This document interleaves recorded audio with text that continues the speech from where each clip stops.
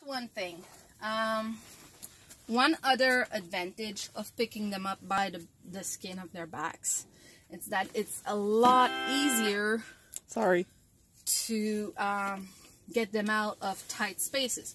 So for example, this cage is an indoor cage um, that I'm using because I'm short. Uh, but the problem is a, a cage like that, if I try to pick her up, she's gonna get her, her paws caught on the wires Yeah. and she's not gonna be happy about it. So, going by the back, I can just go like this. Now, that's Eva.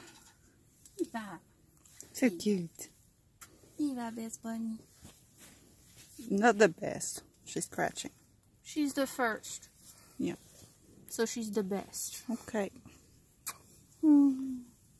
But yeah, going from the skin of the back, I can easily put her back too. By going like this, I can insert the butt and then go in. Now, because I was doing sl it slow, it didn't go as well. But I can do it as much as I want. Now, if I try to put her back in, I can let her do it by herself.